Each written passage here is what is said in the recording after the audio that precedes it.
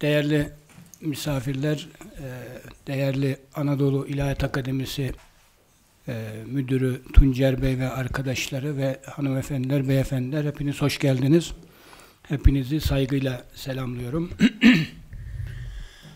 e, Tabi bu konu çok konuşuldu. Belki ben birçok yerde konuştum ama burada ilk defa sanıyorum konuşacağım. Şimdi İslam düşüncesine genel olarak bir bakacak olursak aslında e, üç temel din yorumundan bahsedebiliriz.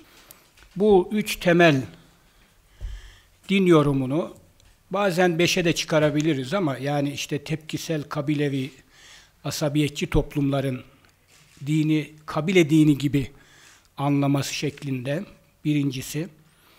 İkincisi dini politik anlayışa uygun olarak yorumlayan ve kişileri karizmatikleştiren siyasi politik ve karizmatik liderci din anlayışı, din yorumu şeklinde ikinci bir e, gruptan bahsedebiliriz. Üçüncü olarak her şeyin çözümünü gelenekten arayan, yaşanmış dini tecrübeyi özellikle de ilk üç asrı esas alan bir din yorumundan bahsedebiliriz. Buna biz gelenekçi muhafazakar din yorumu diyoruz. Dördüncü olarak e, sorunların çözümünde akla, akıl yürütmeye, akli etkinliklere başvurarak dini anlamaya çalışan, sorunları çözmeye çalışan bir başka yorum var. Buna da akılcı, daha çok şehir kültürüne alışık olan toplumlarda bu tür yorumlar ağır basar ve bunlara da akılcı, e, medeni din yorumu diyoruz. Son beşinci olarak da bütün olayları göründüğü şekliyle değil, onun arkasında gizemler, sırlar arayarak hep batına yönelen, bazen bir metnin zahirinden bütünüyle kopup kendi dünya görüşüne uygun olarak sırlar ilhamlar, kerametler, mübaş, mübeşşirat yoluyla Allah'la irtibat kurduğunu söyleyerek, peygamberle görüştüğünü söyleyerek dini yorumlamaya ve sorunları çözmeye çalışmak isteyenler var. Bunlara da mükaşefeci veya keşifçi inzivacı din yorumu diyorum ben. İslam düşüncesindeki bu din yorumlarını beş ana tipolojide tipolojilendiriyorum. Ama bunu daha dar anlamda kullanacak olursak aslında bu üçtür. Bunun birisi zahiri din yorumu, birisi batıni din yorumu, birisi de reyci, akılcı din yorumudur. Bu üçünü, e, tabi ikisini bahsetmeyeceğim, zahiri ve e, batıni yorumu anlatmayacağım. Ben bu akılcı din yorumunun Maturidi ve maturidilik üzerinden günümüze kadar e, genel hatlarıyla e, nasıl bir serüven yaşadığını e, anlatmaya çalışacağım. Zahiri ve batiniye ait çok özel bir örnek verip, çünkü orayı kısaca bir anlamakta yarar var, bir örnekle. Mesela zahiri yorumda kişiler lafza takılıyorlar lafızda ne görüyorsa onu anlamaya çalışıyorlar. Allah'ın ne dediğini değil, ya, e, affedersiniz, ne demek istediğini değil, ne dediğine bakıyorlar. Resulullah'ın ne demek istediğini değil, ne dediğine bakıyorlar. Örneğin, misvak kullanın diyorsa, misvakı bugün Pakistan'da Taliban ve çeşitli medreselerde ne yapıyor? Asılı misvakları abdestten önce ortak kullanıyor. Ama amaç onu ortak kullanmak mı? Amaç temizlik mi, diş temizliği mi, ağız temizliği mi? Onu dikkate almıyor. Sünneti yerine getirdiğine inanıyor. Batini olarak da bir örnek verecek olursak, e, tabi bunun çok geniş izahını fikri olarak yaparım ama e, bugün ona girmeyeceğim. Bu konuda Kuramer'den yayınlanmış Zahiri Selefi Din Yorumu diye yeni çıktı. E, bütün eline boyuna bu konu geçen yıl bir sempozyum konusu yapmıştık. E, ben de işin e, koordinatörlüğünü yapıyordum. Ondan yararlanabilirsiniz. Batini olarak da kişilere kutsallık yükleyerek herhangi bir şekilde herkese göre akılla bilinen ortak gerçeklerin olmadığını, seçkinlerin gerçeklerinin olabileceğini. Mesela Allah yolunda özel riyazattan geçmiş, bir şeyhin, pirin terbiyesinden geçmiş veya masum kabul ettiği imamların terbiyesinden geçmiş olması gerekiyor. Hakikate tek başınıza ulaşamazsınız. Hakikate ulaşmanın yolu, hüccet olarak görülen Kur'an'ı anlamanın, peygamberi anlamanın, dini yaşamanın, gerçekleri bulmanın tek yolunun günahsız ve masum bir imam yoluyla olabileceğini söylüyorlar. Buna biz batini yorum diyoruz. Öyle bir yorum yapabiliyor ki birisi çıkıp e, işte فَاِذَا فَرَغْتَ فَانْصَبْ ve ila rabbike fergab dendiğinde bir ayet alıp e, diyor ki Allah burada diyor ki işte sen işini bitirdiğinde yerine Ali'yi ata. Ya bu cennet cehennem yorumlarını yapıyorlar. Cennet burada işte Hazreti Ali, cehennem Ebu Bekir, Hazreti Ebu Bekir ve Ömer. Böyle çok e, lafızda hiç bir şekilde delaletine rastlayamayacağınız e, şeyleri görebiliyorum. Bu insanı o kadar kutsallaştırıyor ki o insanın kullandığı eşya, yazdığı kitaplar, saçma sapan yaptığı bir davranış hikmetli kabul ediliyor. O kişinin giydiği, çok affedersiniz, iş çamaşırı bile kutsallık kazanıyor. Ve kendisine ziyarete gidenlere onu hediye ediyor. Öyle bir kutsallaştırma var ki, kişiler e, geliyor elinde şişelerle su getiriyorlar. O kutsal kabul ettikleri kişi Allah'la irtibat kuran, Resulullah'la haberleşen, rüyada görüşen o kişiler ne yapıyorlar? O sudan bir yudum içiyor, pet şişesinin ağzını kapatıyor, okuyor, okunmuş su olarak ona geri veriyor. Ee, bütün dertleri bir kişi etrafında dini şekillendirmek ya veya dini gerçeklere ulaşmak. Tabi bütün bunları bir kenara bırakıyorum. Bunun ben buna e, Türkiye'de bugün zahiri ve batini din yorumunun kutuplaşması olarak görüyorum. Türkiye'de hakim olan şu anda ya dini zahiri anlamıyla anlayan zahirciler veya zahirden tamamen kopmuş, Kur'an'dan kopmuş, Kur'an okumayı sapıklık olarak görecek kadar ileri giden batını başkalarının anlatmasıyla anlayabileceğini söyleyen böyle bir kesim. E, bu batını ve e, zahiri kutuplaşmanın üçüncü bir yolu olduğunu söylüyorum. Türkiye buna mecbur değil. Yani evet ayetleri zahiri olarak da dikkate alacağız. Ayetlerin tevil yapıp zahirin ötesindeki manalarını da dikkate alacağız ama zahirden bütüne kopup kopuk veya sırf zahire kilitlenerek e, dinin metinlerini anlamak mümkün değil. Ben bu üçüncü yola akılcı reyci yol diyorum.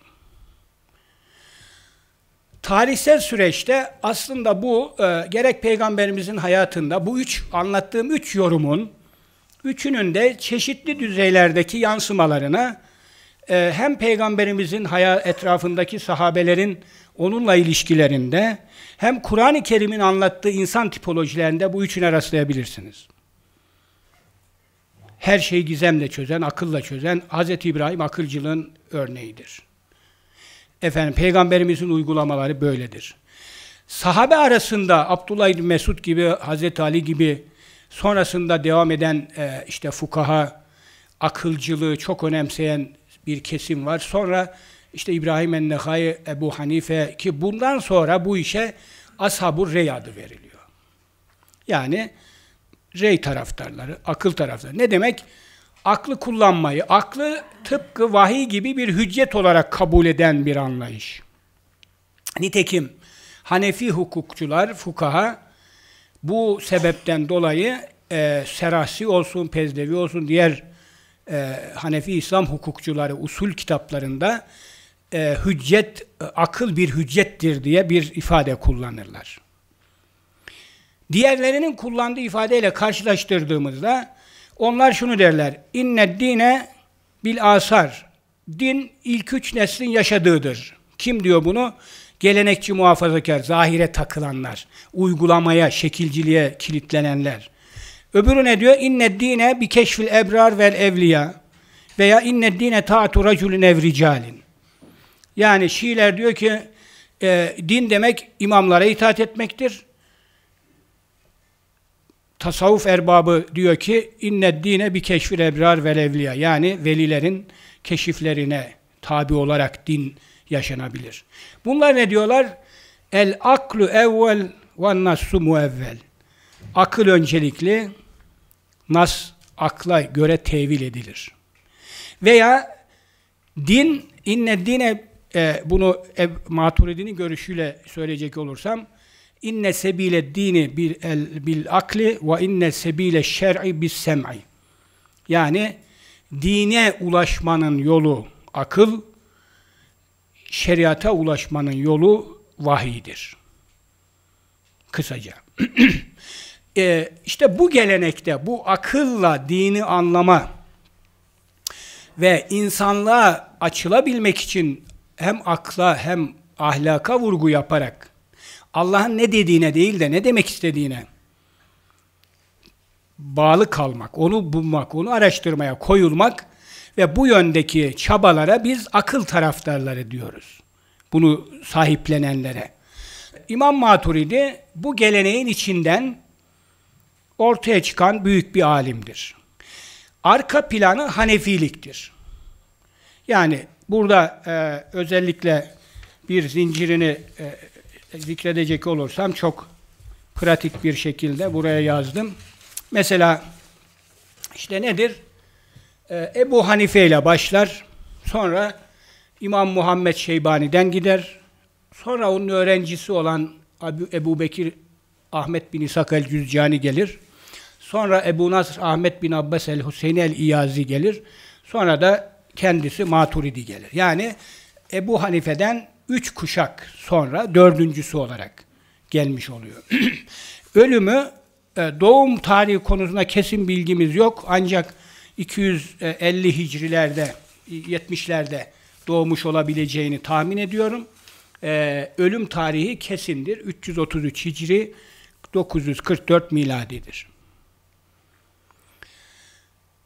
Doğduğu yer Semerkant'tır. Yani bugün e, bu haritada görüyorsunuz. Semerkant okun hemen gösterdiğim yerde. E, Semerkant.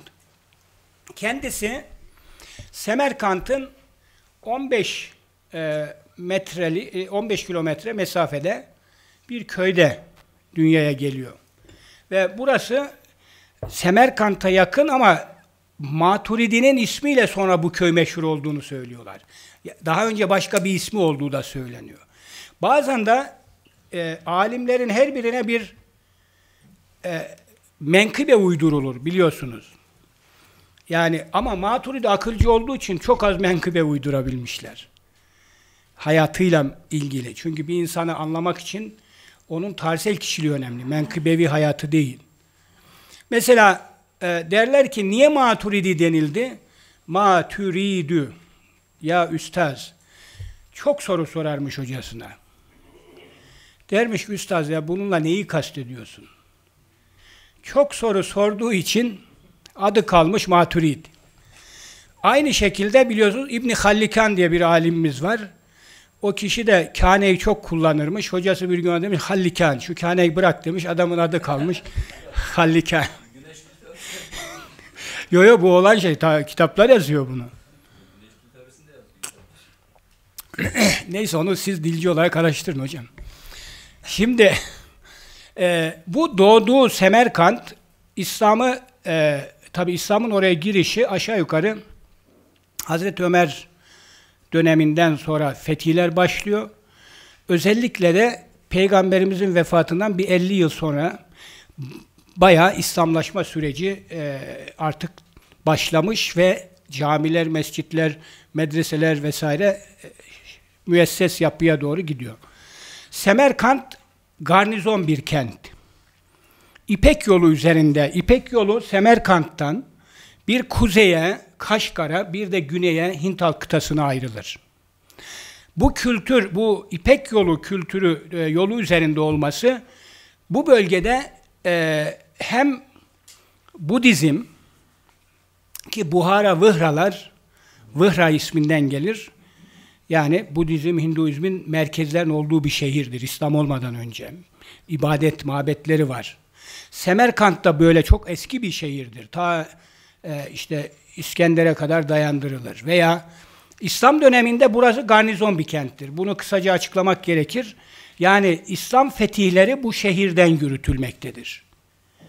Maturidi bu şehirde güçlü bir ilmi çevre var. Ee, bu çevre sadece Hanefiler değil, diğer dinlerden de var. Hariciler söz konusu değil ama mutezile çok güçlü burada. Hadis taraftarlar adını verdiğimiz akıl aleyhtarlığı yapan ve ilk üç asrın hep sünnet adı altında yaşadığını din olarak insanlara kabul ettirmeye çalışan bir kesim var. Şiiler var. Muhammed e, bin Ayyaş bir Şii, belki ismini yanlış söyleyebilirim. E, meşhur müfessirdir. Onun döneminde yaşıyor. Semerkantlı. Yine o bölgede Şafii ulamadan e, olanlar var. Bölge Sufilerin de uğrak merkezi durumunda. Hem Nasturiler özellikle bu Arap Yarımadası'ndan kovulan e, Nasturiler de oralara kaçmış. E, Zerdüşler ve Maniheistler orada. Maturidi'nin yetiştiği şehir çok kültürlü ve e, gerçekten yazılı kültüre buna özellikle dikkat çekmek istiyorum, altını çiziyorum. Yazılı kültüre alışık bir toplum. Burada Darül Cüzcaniye diye bir merkez var. Bu merkezin kurucusu kendi hocası. Belki hocasının da hocası. Ebu Süleyman el-Cüzcani olabilir, Ebu Bekir el-Cüzcani olabilir. Adı Darül Cüzcaniye. Onun evi, yani o evini mi yoksa bir müstakil bir yer olarak mı? Ama Darül Cüzcaniye dendiğine göre müstakil bir medreseye dönüşmüş olduğu anlaşılıyor. Benim tespitlerime göre bu medrese 500-600 yıl bir fiil alim yetiştirmiş bir merkezdir. Bunlar Nizamiye'den öncedir. Bizim hep önümüze sürerler ya Nizamiye, Eser Üniversitesi, Fatimilerin örneği, Nizamiye Eşari. Onun öncesinde Maveraun Nehir'de Darül Cüzcaniyeler var. Maturidi burada hem öğrencilik yapıyor hem hocalık yapıyor. Burası askeri bir garnizon kent dedik ya, burada yeni Müslüman, henüz Müslüman olmamış Türk bölgelerine akınlar yapıldığı için askeri kesimde e, Maturidi kelami dersler veriyor garnizonlarda. E, Hakime Semerkandi diye birisi var, o da ahlak terbiyesi, hikmetle ilgili dersler veriyor. Bunu kaynaklar bahsediyor. Ve ben sonra anladım ki Türk toplumlarında asker ocağında din eğitimi olayı hani bakıyorsunuz asker o geliyor bugün gidin Söğüt'te yatan e, oradaki insanların kabir taşlarını okuduğunuzda orada hem zahittir hem fakihtir, Fakı Dursun'dur, hem Turgut Alp'tir, Koca Turgut'tur neyse bu tür isimlerle yani Türk toplumlarında e, bu ben İslam'ın incisi dediğim ahlak, ibadet, muamelat ve itikat parçalanmamış olarak buralarda öğretiliyordu. Sonradan bunlar ayrı ayrı şeylere dönüştü. Maturidi bu üçünü e, veya diğer alimlerle birlikte bu üçünü o askeri e, kesime e, veriyordu. Kendisinin bize ulaşan çok yani meşhur öğrencileri var ama 3-5 kişi bile biliyoruz. Çok kaynaklar bilgi vermiyorlar. Maalesef Hanefilerin meşhur olmak gibi derdi olmadığı için, mezhepçilik yapmadıkları için tabakat yazmamışlar. Ve tabakat yazılmayınca da birçok büyük alimin hayatı, tarihsel kişiliği silik kalmış. Veya bilinmez, meçhul kalmış. Ta Maturidi'nin yaşadığı dönemden 300 yıl sonra e, Semerkant ulemasına dair bir eser yazılmış. Nesefi diye meşhur. Bu yazılan Semerkant tarihinde maalesef Maturidilik kısmı kayıp. En meşhur tarih kitaplarında tabakat ve biyobibliografik eserlerde Maturidilikle ilgili maalesef ancak Hanefi tabaka sonra yazılanlarda 2-3 cümle bulabilirsiniz. Maturidi'nin hayatını, hocalarını, çevresini ele alan maalesef ve maalesef e, bilgiye rastlayamıyoruz. Çok az bilgi var. Bu bir ihmal midir? Kasıtlı bir ihmal midir? Yoksa gerçekten e, o kadar o tabakat eserlerine girecek kadar bir itibarı mı yoktu? Bazı insanlar sonradan itibarı anlaşılır. Yoksa başka sebepler mi vardı? Ben e, Maturidi'nin bu tarih kitaplarında ve biyobibliografik eserlerde ihmal edilmesini iki sebebe bağlıyorum. Çok meşhur birisiydi ve çok önemli bir şahsiyetti. Şimdi onun bahsedeceğim. Birisi e, kendi döneminde sufi çevrelere karşı bir mesafeli duruşu vardı. Bazıları genelde aslında öyle demek lazım. Sufi e, bilgi kuramında ilham ve rüya benzeri şey bir bilgi kaynağıydı. İmam Maturidi ilham bir bilgi kaynağı değildir dediği için ve sufilerin o dönemde bazı sufilerin yöneticilerin sofrasında yemek yiyip onlara haksızlıklarını söylemedikleri için ve hilafet halife Kureyş'ten olur sözünü reddettiği için Abbasi halifelerini e, zillullah filarz olarak şeyhin şah olarak şah olarak hutbelerde met edilmesini istediler. Ona karşı çıktığı için Maturidi e, devlet tarafından öne çıkarılmak istenmedi. Siyasiler tarafı döneminde. Çünkü Zillullah fil arz diye hutbe okutuyor. Maturidi bunu kim hutbede söylerse küfre girebilir. Allah'a zalimin zulmünü inkar edip onu adil göstermek, zulmü adalet göstermek gibidir. Helali haram kabul etmek, haramı helal kabul etmek gibidir. Küfre götürebilir diye fetva veriyor. Ee, bu ortamda tabi Maturidi ilk tartışma muhatapları olarak Mutezile'yi buluyor. Zaten ondan aşağısı pek yakışmaz ona. Şia'yı eleştirir ama Şia onun için çok hafif bir rakiptir. Yani çok e, önemli değil. Ee, bir de ikinci bir rakip ikinci bir rakip hadis taraftarları. O nereye dayanıyor? Ebu Hanife ile hadis taraftarları arasındaki e, kutuplaşma, rekabet diyelim. Ona dayanıyor. Fakat e, Maturidi'nin görüşlerinde en çok tefsirinde, birazdan bahsedeceğim eserlerini, görüşlerini, en çok mücadele ettiği kesim Mutezile. Her bir sayfada veya 3-5 sayfada bir mutlaka Mutezile'yi eleştirir. Bazen Mutezile'ye karşı haksızlık yaptığı da söylenebilir. Mesela işte Kabi diye bir rakibi vardır. Kabe'ye siyasetle katiplik yapıyordu Samani hükümdarlarına.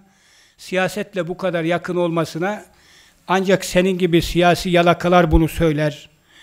Hatta bir iki yerde hiç felsefesine uygun olmadığı halde e, Mutezile'yi tekfir eder.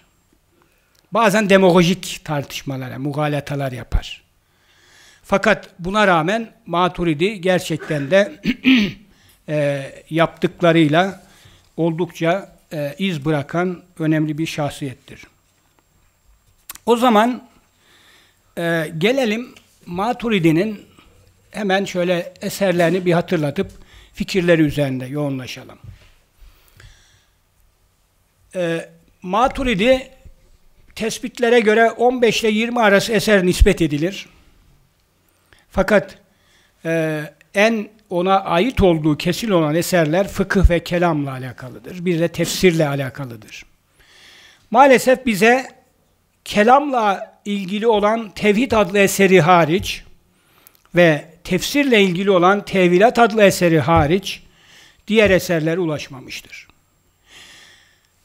Diğer eserleri keşke ulaşmış olsaydı. Mesela e, Meahüzü Şerai diye bir eser yazdı.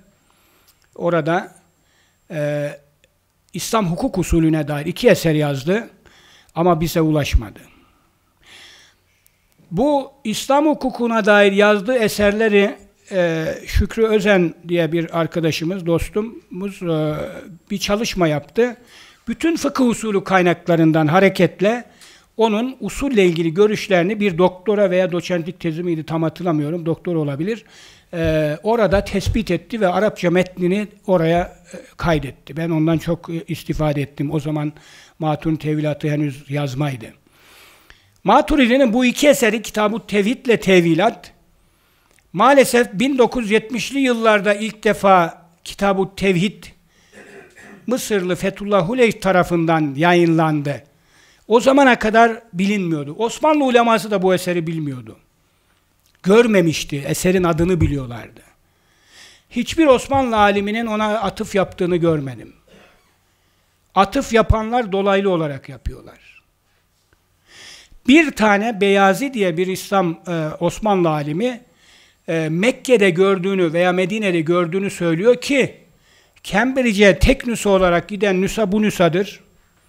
Bunu İngilizler tahmin ediyorum Vahabi devletini kurdurduktan sonra e, oradaki eserleri Cambridge'e veya İngiltere'ye götürdüler. Ve bu eser tek nüsa olarak oradan çıktı. Fethullah Huleyf e, neşretti ama çok hatalar vardı. Daha sonra Bekir Topaloğlu Hoca bunu yeniden neşretti. Çok güzel bir neşir yaptı. E, Tabi onda da bir takım hatalar olmakla beraber yeni bir nüsa buluncaya kadar bununla yetinmek zorundayız. E, tevilat konusuna gelince tevilatı baştan sona önce tahkik edildi Bekir Bey ve bir grup arkadaş tarafından. Sonra da e, tabii bu kitabı tevhid aynı zamanda Türkçe'ye çevrildi. Diyanet Vakfı yayınları arasında bulup alabilirsiniz. Tevilatı önce tahkik ettiler. Üç ayrı tahkiki yapıldı. Çünkü çok nüshası vardı. Ve en son Türkiye'de e, Bekir Bey ve etrafındaki arkadaşlar birlikte e, tahkik etti. Arapçasını yayınladılar. E, 2016 mıydı veya bittiği tarih tam hatırlamıyorum. Daha sonra Türkçe'ye çevrildi. E, Bekir Bey ilk 3-4 cildini kontrol edebildi. Sonra Yusuf Şevki Hoca devam ettirdi ve şu anda Tevilatul Kur'an tercüme edildi ve artık Türkçe olarak elimizde. E, bu iki eser diğer eserleri bize ulaşsaydı tabii ki önemliydi ama hele hele Kur'an gibi bir kaynağı baştan sona te tevil etmesi, tefsir demiyor çünkü, tevil etmesi, Kur'an İslam'ın ana kaynağı olduğuna göre, Kur'an'ı açıklamak demek, İslam'ın bütün konularına değinmek anlamına gelir. En azından temel konularına. Dolayısıyla fıkıh orada var, itikat var, kıssası var, tarih var vesaire birçok görüş var. E, fakat tevhidle ilgili yazmış olduğu eser çok dikkat çekici bir eser. Orada maniheistlere, değişik gruplara, Şiilere, Mutezillere, her kesimden grupla tartışmaya girdiğini görüyoruz. Bu kitabında en dikkat çekici yön ilk defa İslam düşüncesinde bilgi kuramı adıyla bir bölüm koymasıdır. Ve ondan sonra artık İslam kelamında bütün kelam kitaplarının birinci konusu olarak veya başta bir veya iki ya da üçüncü konusu olarak mutlaka sistematik kelamı kastediyorum. Mutlaka bu e, yer almaya başlamıştır. Bunun için önemlidir. Asıl önemli olan yönü şudur. Bilgi kuramına o zamana kadar herkes biliyordu. Bilgi kuramı yani bir bilgi nasıl üretilir, nasıl değerlendirilir, değeri nedir, doğru mu, yanlış mı, kaynakları nelerdir? Maturidi e, vahyi bir bilgi kaynağı olarak haber adı altında ilk defa İslam düşüncesine sokmuştur.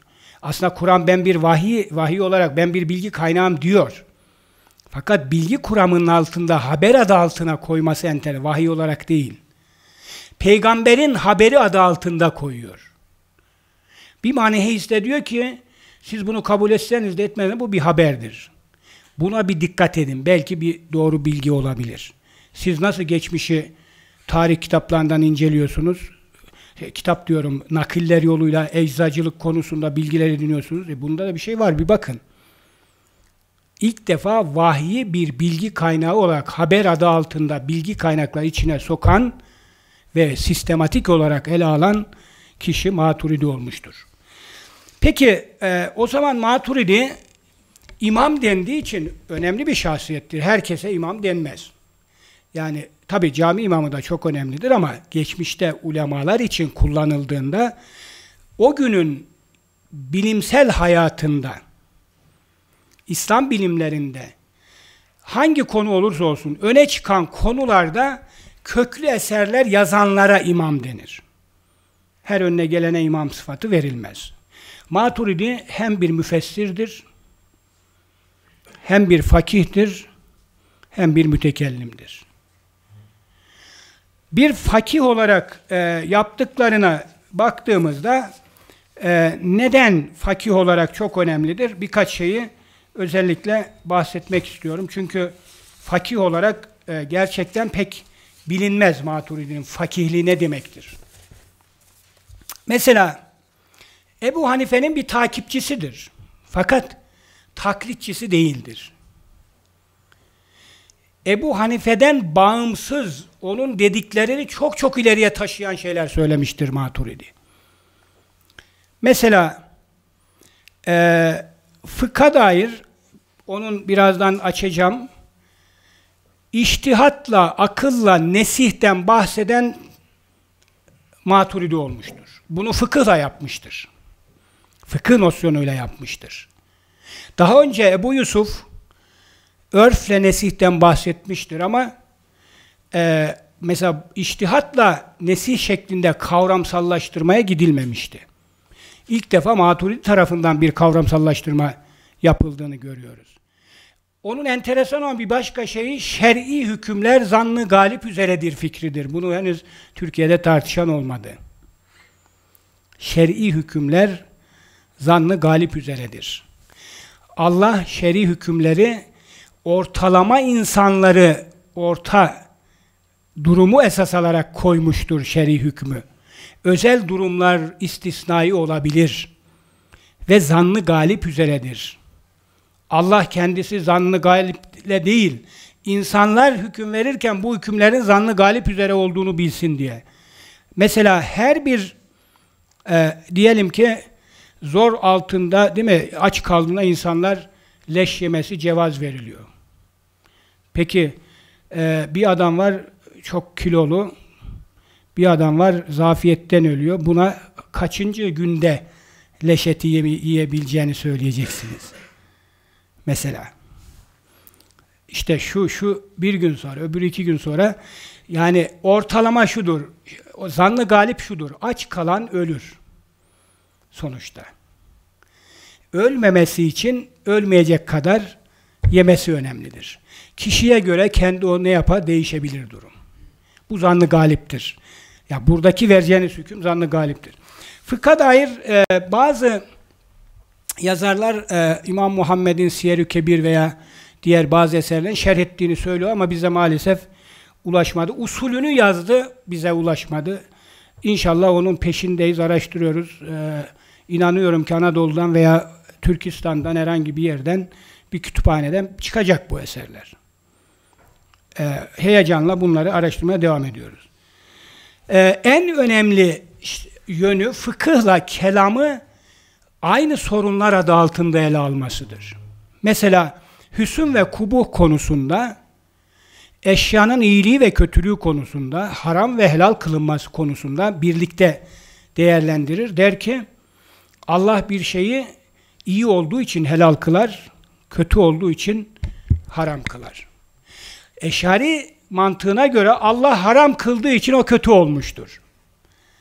Allah helal kıldığı için o iyidir. Dikkat ediyorsanız burada iyiliğin yani akla bağlı olarak veya doğrunun nesnelliği açısından önemli bir e, objektif ahlak anlayışı getirmektedir.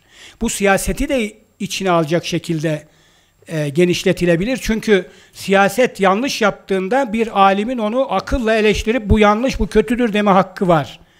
Bir eşari mantığında bunun önü kesilmiş oluyor. Maturidi fakih dedik ama e, tabi fazla fa fakih olarak e, eserleri kaybolduğu için çok öğrenemiyoruz ama Kur'an-ı Kerim'i tevil etmesi ve tevilatta fıkıhla ilgili bütün konularla yorumu vardır. Oradan bir fıkhi şahsiyet tespit etmek mümkündür. Ee, bir mütekellimdir. Ne demek? Teolog yani Allah'ın varlığını, birliğini delilleriyle ortaya koymaya çalışan e, ve kendi dönemindeki maniheist, budist, nasturi, zerdüşt e, din yorumlarıyla hesaplaşıp Allah'ın, İslam'ın tevhid anlayışını o günün şartlarında temellendirmeye çalışan birisi. En çok e, bu kelam konusunda öne çıkan durum e, bilgiyi nesnelerine göre tasnif etmesinden kaynaklanıyor. Mesela diyor ki akıl yoluyla bilgi bilinenlere biz akliyat deriz his yoluyla bilinenlere hissiyat, haber yoluyla bilinenlere semiyat deriz. Maturidi'nin bu e, nesnelerine göre bilgileri ayırması, hatta kaynaklarına göre birlikte düşünerek ayırması, Batı'da bile ancak 16-17. asırdan sonra gerçekleşmiştir. Ve bunu enteresandır, tefsirinde ele alıyor bu kavramları. Bu e, tabi kendisine bir şans tanıyor. Bu kadar e, Aristo'nun e, kategoriler eserini makulatı okumuş. Kendi eserinde Aristo'yu eleştiriyor. Ben akılcılığında e, muhtemelen etkilendiği birkaç kaynak olduğu kanaatindeyim. Kelamda da bunu kullandığını görünce. Birinci kaynak her bir alem yetiştiği toplumun tercümanlığını yapar. Türk toplumlarındaki devlet kurma, teşkilatçı ve inşacı bir yapıya sahip olmaları. Orhun abidelerinde, destanlarda hep akıldan bahsedilmesi ve aklın bir delil olarak, güvenilir bir kaynak olarak görülmesi. Açın mesela e, işte Kutadgu Biligi baştan sona akıl ilimden bahseder. Aklı ve iradeyi kullanmayan iyi bir insan olamaz der. Bütün iyiliklerin ölçeği akıldır der. Dolayısıyla Maturidi'nin birinci derecede bu kadar akla vurgu yapmasının sebebi yetiştiği Semerkant kültür merkezidir. Havzasıdır ve Türk toplumlarının buradaki devlet ve köklü bir kültüre sahip olmalarıdır. Ee, inşacı bir toplumun içinde yetişmesidir. İkincisi tabii ki Kur'an-ı Kerim'in tevilatını yaptı, tevilini yaptı. Kur'an'ın en az 600-700 yerinde akıldan bahsetmesidir.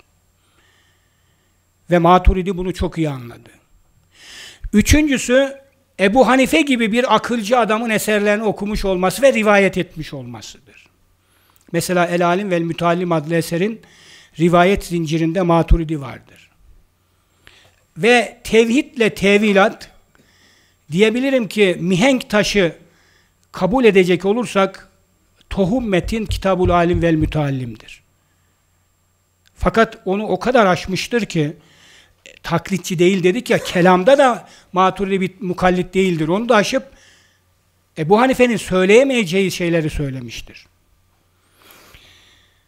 Ee, bu açıdan bakıldığında e, mutezile akılcıdır ama bazen mutezileye taş çıkaracak akılcı yönleri vardır. Mesela mutezile kıyasla nesi veya iştihatla nesi kabul etmez. Fakat anlamayan insanlar iştihatla nesi maturinin kabul etmesini e, izah edemezler. Çünkü Maturidi'nin düşünce dünyasında hakim olan şey toplumsal değişimi dikkate almasıdır. O kadar toplumsal değişimle o kadar çok kelime ve kavram kullanır ki ben bu konuda bir makale yazmıştım. En az Arapçada kullanılan bütün tebdil, tegayyür, tehalüf, ihtilaf, hilaf ne var ne yok hepsini kullanmıştır. Ve onun fikri şudur. Din değişmez. Bütün peygamberlere inen dinin adıdır. O da üç şeyden oluşur. Bir, tevhid, inanç, ibadet, affedersiniz itikat. İkincisi ahlak, akılla bilinir hep bunlar. Üçüncüsü ubudiyet. Allah'ın varlığını bulan insanın Allah'a şükran borcu duyması tabiidir, aklidir. Ama nasıl yapacağını şeriat bildirir. Bu din hangi peygamber olursa olsun bu değişmez. Bu dindir. Din kısmıdır. Allah'ın buna illa vahiy göndererek bize bunları haber vermesi gerekmiyor. Bu akılla bilin. Onun için diyor ki inne sebile dini el aklu. Dinin yolu akıldır. Yani siz ahlaklı olmayı birinci derecede akılla başarabilirsiniz. İkincisi tevhidi akılla bulmak zorundasın. Vahiy gelmese bile. Vahiy bize bir destekleyici, teyit edici bir lütuf olarak Allah göndermiştir. Ki hiçbir itirazımız kalmasın artık. Şeriat değişkendir. Dönemden döneme aynen ifadesi şudur. E, halin minel hal. Halden hala.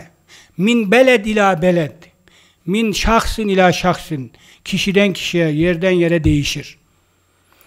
Hz. Muhammed'in şeriatını kimse nesedemeyecek. Fakat Hz. Muhammed'in şeriatında bazı kısımlar örfe bağlı illeti eğer gelenekten, Arap geleneğinden alıyorsa, o illetin kaybolmasıyla maslahat gerçekleşmiyorsa, İslam alimleri iştihatla bir şer'i hükmün, sosyal hayatla ilgili hükümlerin e, neslini yapabilir. Bir de örf yoluyla Mümtehine suresinde bundan bahseder. Örf değişmişse yani bugün parayı düşünelim. Aynısını peygamberin dönemindeki gibi mi kullanıyoruz? O, onun üzerinde mi alışveriş yapacağız? Veya asker hazırlayın değil mi? Asker için güç hazırlayın. Minel hiyel ifadesini bunu şey için mi? Allah orada ne yapıyor? Ne demek istediğine bakacağız. Bütün bunları değerlendiriyor. En önemli de Hazreti Ömer'in müellefe-i kulubu akılla iştihatla nesrettiğini söyler, başka örnekler verir. Bunun üzerinde çok durmak istemiyorum. Bu konuda e, benim e, maturidilik ve İmam Maturi, Maturi üzerine bir e, edit çalışma var. Orada geniş geniş anlatıyorum. Hatta web sayfamda Maturidi akılcılığı ve günümüz sorunlarını çözmeye yönelik e, teklifler diye bir makale yazdım. Çok tartışıldı. E, oradan okuyabilirsiniz. Web sayfasından.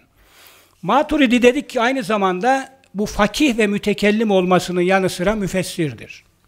Maturidiye kadar insanlar şöyle düşünüyordu. Ya biz bu dini anlıyoruz ama herhalde anlayabilmemizin tek yolu, yolu yönü başka çaremiz yok. Nereden anlayacağız? Ee, ilk üç asrın insanları ne yaşadıysa onu yaşayarak. Taklit. Ee, İmam Maturidi dedi ki ve bunu da ancak tefsir böyle olur dediler. Yani Kur'an'ı tefsir etmek demek bir sahabeden, tabiinden gelen rivayetlerle Kur'an'ı yorumlamak, tefsir etmek.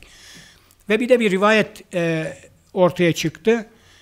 E, Men fesserel Kur'ane bi re'yi felyetebevve makkadehu minen nar diye kim Kur'an'ı kendi görüşüyle tefsir ederse cehennemdeki yerine hazırlansın diye bir rivayet dolanıyor. Kimse korkuyor herkes aman akıllı aman aman e, cehenneme gideriz diye insanları korkutuyor. Maturidi çok güzel bir yol buldu. Ben dedi tefsir yapmıyorum. Tefsir ilk nesillerin işidir. Ben tevil yapacağım dedi. Ve adını onun için Tevilatul Kur'an koydu. İlk defa tefsir geleneğinde dirayet tefsir adını verdiğimiz akılla tefsir geleneğini Maturidi baştan sona yapmış o. Daha önce Mutezile denedi ama bilebildiğimiz kadarıyla baştan sona o zaman henüz yapılmış e, bir tevil e, diyebileceğimiz tefsir söz konusu değildi. E, peki fikirlerinden şöyle biraz bahsedelim. Zamanımız tabii sınırlı olduğu için aslında 2-3 saat, 4 saat konuşacaktık bu konuyu ama bugün çok ters bir şey oldu. Telafi edelim. Bir de sonraki bir dönemde tekrar şey yaparız.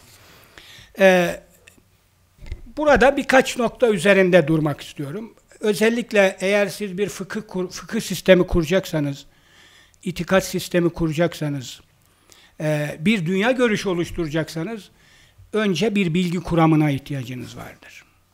Bilgi kuramını oluşturmadan bir sistem kuramazsınız.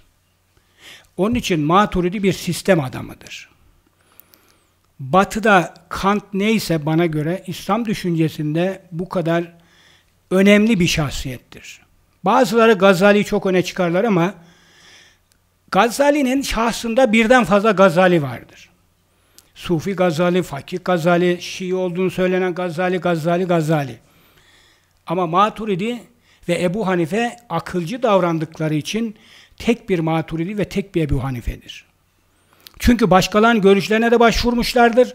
Öyle eski Ebu Hanife, yeni Ebu Hanife, eski Maturidi, yeni Maturidi, Şii Maturidi, yok Sufi ma böyle bir şey yoktur. Maturidi'nin menkıbeyi kişiliği söz konusu değildir. Çünkü hep akılla hareket etmiştir. Çok az menkıbe anlatılır. O menkıbelerde bile hep Allah'tan e, yani bütün şeylerle akıldan bahseder. Çok küçük bir e, anekdotu onun anlatayım.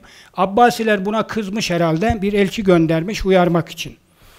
Gitmiş e, Semerkant sokaklarında onun evini arıyorlar. Semerkant'ın e, işte köyüne gidiyor. E, diyor ki tam ona denk geliyor. Mevla nerede diyor. O da diyor ki Mevla Yüce Allah'tır diyor. Elçi şaşırıyor. Bu ne biçim yani? Mevla demek üstaza deniyor, alime deniyor. Üstaz nerede diyor? Üstaz Resulullah'tır diyor Allah Allah. Peki Ebu Mansur el-Maturidi birini ayırıyorum. Nerede diyor? O fakir benim diyor. O aciz kul benim diyor.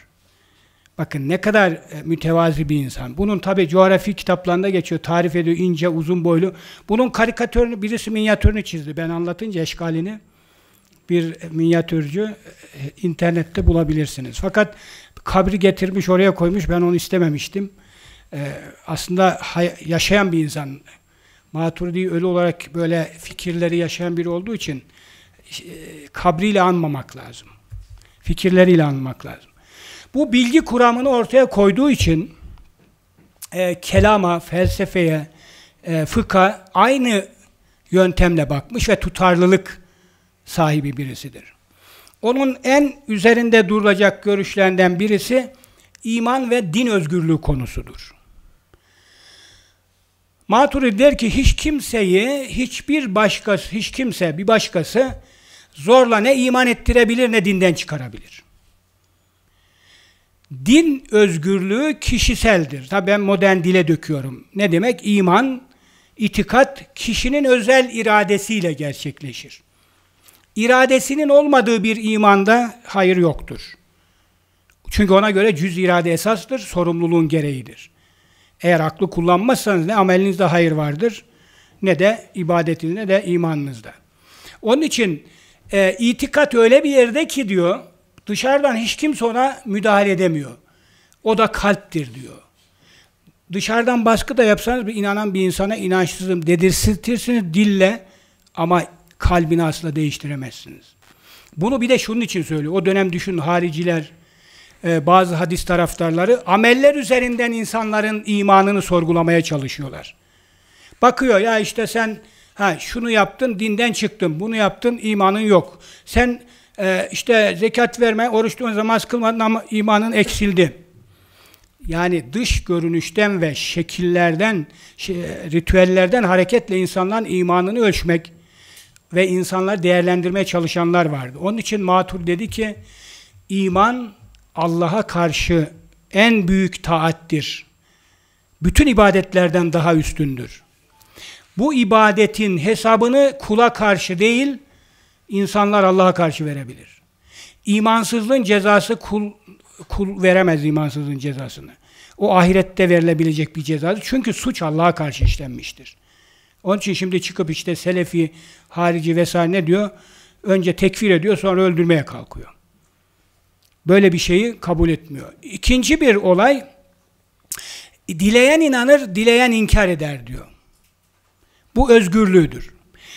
Ee, insan özgür olduğu için insan bir defa yaratılıştan muhterem bir varlıktır der.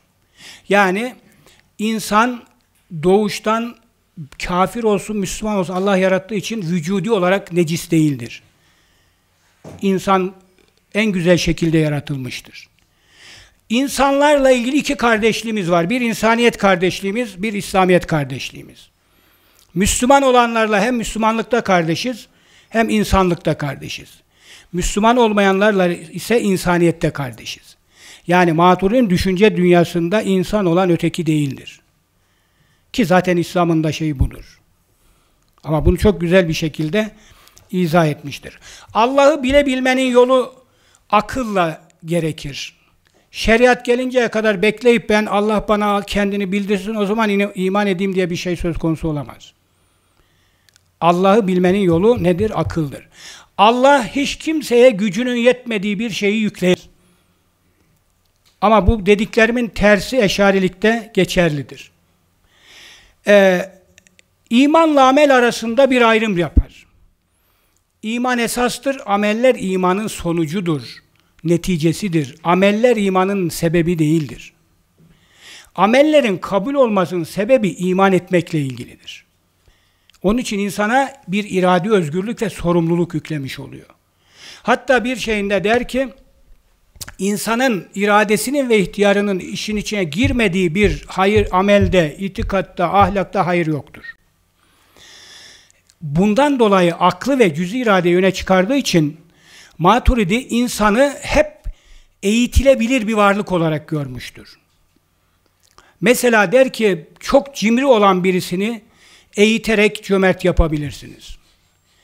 Akıl ve tab ayrımı yapar. Nefis ve akıl ayrımı. Nefis insana tabiatın, insanın tabiatı bazı şeyleri çirkin görür ama ona faydalıdır der. Bazı şeyleri hoş görür ama ona zararlıdır. Bunun hangisinin doğru olduğunu akıl karar verirdir. Aklın koyduğu, şeriatın dışında, vahyin dışında akıl menhi koyabilir, emir koyabilir ama haram ve helal koyamaz. Yasak koyabilir. Diğer taraftan aklını kullanmamayı insana telkin eden şeytanın vesvese, vesvesesidir der. Yani bütün vurgusu akıl üzerinedir. Şeriatla e, din arasında ayrımı kısaca bahsettim zaten. Amelle iman arasında da ayrımı bahsetmiş oldum. Yani ameller artmakla iman eksilmez, iman veya artmaz. Çünkü öyle olsaydı Peygamberimize inanıp da bir yıl yaşamış, namaz oruç henüz farz kılınmamışken ölmüş bir adamın imanı o zaman basit bir bugün 100 yıl yaşayan var, çok yaşadı, çok amel etti diye imanı çok olmaz. Ameller de imanda insanla eşittir. Niye bunu diyor biliyor musunuz? Arap kesimi, asabiyetçilik, Arap asabi diyor ki e, Araplar birinci sınıf Müslüman, öbür mevali ikinci sınıf Müslüman. Bu da diyordu ki hayır imanda eşitlik esastır. Bütün müminler eşittir. Bunu birbirinden ayıramazsınız. Onun için ilk defa Maturidi'nin ve Ebu Hanife'nin fetvaları ve görüşleriyle mümin olan Arap olsun, mevali olsun eşit kabul edilmiş ve e, birinin birine üstünlüğünden bahsedilmemiştir. Müslümanların kardeşliği fikri perçinlenmiştir. E, mukallidin imanı doğru değildir, caiz değildir veya ge geçerli değildir demiştir. Yani her inanan insan neye inandığını, niçin inandığını, nasıl inandığını bir muhalifiyle tartışırken ortaya koyabilecek güçte bilgiye sahip olmalıdır. Tahkiki iman gerekir. Onun için de imana akli iman diye ifade eder. Yani akılla temellendirilen iman geçerlidir. İnsanın e, Allah her şeyi bir hikmete göre yaratmıştır. İnsana düşen o hikmeti bulmaktır. Yani bazıları der ya Allah'ın hikmetinden sual olmaz. Maturidi'ye göre Allah'ın hikmetinden sual olur. Onun hikmetini bulmak bir ibadettir. Hatta bütün azaların ibadeti vardır. Aklın ibadeti taakkul, tefekkür ve tezekkürdür. Düşünmektir. Evet bu şekilde e, kısa kısa geçiyorum. Bir konuya daha değinip bitireceğim. Ben de çünkü birazdan öbür tarafa geçeceğim. E, din siyaset ayrımıdır. Kısaca bunun üzerinde durup bitiriyorum. E, Maturidi'ye göre din ne demiştik arkadaşlar? Ahlak, ubudiyet ve inanç. Şeriat farklıydı, izah ettim onlar. İbadetler, şekil, şemal, nasıl kılınacağı. E, her ümmette oruç değişiyor değil mi? Şekli, biçimi, günü, miktarı değişiyor. E, ama hiçbir zaman tevhid değişmiyor. Ahlak kuralı, efendim e, içki içmek, zina yapmak haram. Bütün peygamberlere geldiği şekliyle aynı. Bunu akıl da bulabiliyor. Bunun çirkin olduğunu. Bu şekilde değerlendirdiğimde bir de siyasetle diyanet ayrımı yapıyor. e, biliyorsunuz hala tartışılıyor. Efendim bir, halifeler Kureş'ten olur. Yani bir devlet başkanı, Müslümanı yönetecek bir kişi Kureşli olması gerekiyor. Kime göre? İlk mütekellimlere göre. Maturidi bunu tersine çeviriyor. Diyor ki, Arap geleneğinde kavmiyeten ve siyaseten bu doğru olabilir. Ama diyaneten, dini açıdan asıl olan Kureyşli olmak değildir. Asıl olan liyakat ve ehliyettir. İşi iyi bilmesidir. Onun için diyaneten caiz değildir. O günün şartlarında siyaseten olabilir. Bundan dolayı da Maturidi eleştirilmiştir. Ama Matur doğruyu söylemiştir. Onun için de günümüze kadar bu tartışılmaya devam etmiş. E, Maturidi 400, e, 944'te vefat ediyor. O gün bu halifenin Kureyşlilik olayının dini olmadığını, kültürel olduğunu söylemiştir. Ee, diğer taraftan Diyanet konusunun nübüvvet konusu olduğunu, bir peygamberin ancak o konuda otorite olabileceğini, bir başka insanın Diyanet konusuna çıkıp haram helal koyma yetkisinin olmadığını söyler. Ancak vahiy ile bunu koyabilir der. O da peygamberdir. Ama siyasi konular kişilerin iradesine bırakılmıştır. İnsanlar kendileri nasıl bir sistem kurabilirse adaleti esas almak suretiyle asıl olan adaleti temin etmektir. Onun için Maturidi kendi dönemindeki siyasilerle pek arası iyi olmamıştır. Bir iki sebebi vardı. Çünkü Ebu Hanife'yi hapiste işkence ile öldürenler Abbasilerdi. Abbasiler o dönemde Samanileri idare ediyorlardı. Çünkü Samaniler onlara bağlıydı. Maturidi hiçbir zaman bu şeyi unutmadığı kanaatindeyim. Çünkü aynı şeyleri Zullullah Filars fikrini, halife işte falan şah, şehin şah gibi fikirlere karşı çıktı. Ve onları ne yaptı? Ee, böyle bir şey olamaz. Bu e, din dinde helal ve haram koymaktır. Bunu insan yapamaz diye reddetmişti ve Abbasiler onun için Maturidi'yi sevmedi ve öne çıkmasını da istemediler. Tarih boyunca Maturidilik başlangıçta Semerkant uleması ve Hanefilik olarak anıldı. Fakat kendisinden 200 yıl sonra Maturidi adıyla veya bir 300 yıl sonra Maturidi adıyla bir ekol olarak Semerkant, Buhara, e, Mavaraun Nehir, Fergana, sonra Horasan, sonra Anadolu'ya, Balkanlara ve değişik e, İslam coğrafyasına yayıldı. Biliyorsunuz e, eskiden beri Türk toplumlarında bir veciz bir söz vardır. İtikatta maturidiyim, fıkıhta hanefiyim derler. Bunun bir üçüncüsü vardır. Tarihte e, silsilede yeseviyim derler. Fakat bu yesevilik bizim bildiğimiz bugün tarikatçilik anlamında değil. Ahmet Yesevi Piri Türkistan diye bütün Türklerin piri olarak kabul edilir. Bir ahlak e, önderidir, ahlak sistemcisidir. E, Maturidi'nin maalesef Osmanlı'da çok iyi anlaşıldığını söyleyemeyiz. Onun tevhidini görenler bile yoktu dedim onu. Tevilatını görenler vardı fakat onu geliştirip onun üzerine bir eser yazamadılar. Maturidiliği tarihte İmam Maturidi şahsında aşan olmadı. Ebul Muin en-Nesefi vardır en meşhur. Fakat o da yazdıklarında maalesef e, şerh niteliğini taşıdı. Bazı konularda onun görüşlerini tehlikeli buldu ve hafifleştirmek istedi. Mesela birisi bu tahkiki iman konusuydu. O dedi ki büyük günah işlemiş olur imanını tahkiki imana kavuşturmayan. Halbuki Maturidi geçersizdir diyordu. Ve bunun gibi bir de Sufiliye çok mesafeliydi ama sonraki Hanefiler Sufiliye teslim oldu. Bugün Anadolu'da sık sık irfan, Anadolu irfanı diye bahsedilir. Anadolu irfanı, biz irfanımızı Mavara Nehir'de almıştık. Olsa olsa irfan bir milletin irfanı olabilir. Türk milletinin irfanı e, bu akıl, maturidilik, hanefilik, yesevilikti. Fakat e, Anadolu'da aslında İbn Arabi dalgası ve o vahdet-i vücutçu batıni söylem Maturidi'ye çok büyük zarar. Bir de Nizamiye medreselerinin kurulması ve eşari eğitim sistemi Osmanlı'da ve Selçuklular'da maalesef Maturidi'nin geliştirmesine büyük bir engel teşkil etti.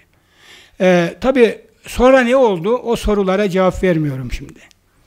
Onu başka bir döneme bırakıyorum. Evet sabırla dinlediniz. Hepinize çok teşekkür ediyorum. Saygılar sunuyorum.